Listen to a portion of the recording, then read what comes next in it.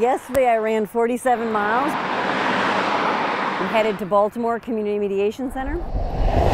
This is the Run for Reentry.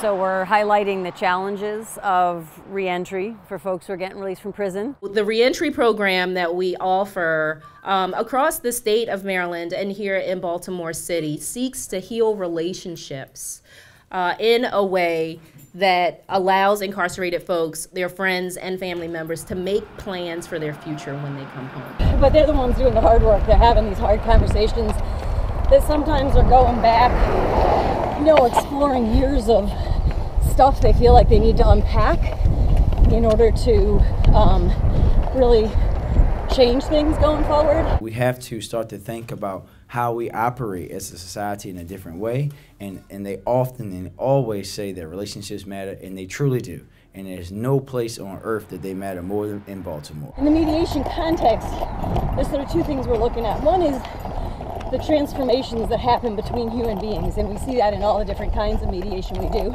Just talking to someone that's incarcerated one time with a mediator there who is neutral and is able to help folks feel heard and understood decreases the likelihood that that person will get locked up again by 10%. So that's a pretty clear indicator of success that I think most people can agree, you know, regardless of what you think ought to happen with the criminal justice system.